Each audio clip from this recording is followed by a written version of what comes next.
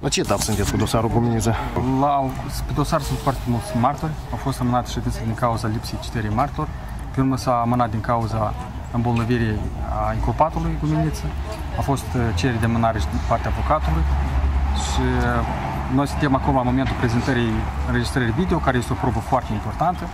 Și ședința a fost amânată pentru 24 ianuarie, ca procuratura să aibă termen să prezinte noi avem uh, din 2010 dosarul pornit, este un termen excesiv de îndelungat, uh, excepțional, aș spune, de îndelungat.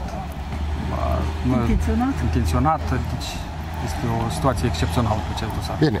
Și face, acolo lucrează, acolo s-a stabilit, dar poate că să vină în Moldova, că nu, nu sigur că e totdeauna acolo.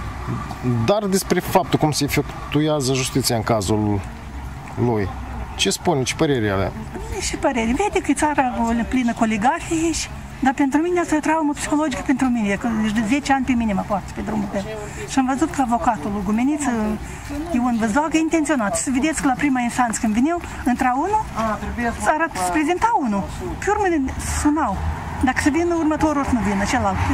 Și motivau judecătorul că e bolnav, că vă închipuiți 80 de ședințe în prima instanță numai. 80 de ședințe. Ați obosit să veniți pe E instanță? clar, vin de la 100 de kilometri și aici e pe loc. Se răzgândesc și spun că nu, nu poate. Amânat. Guminiță, dosarul, dosarul nu se termină, două Guminiță.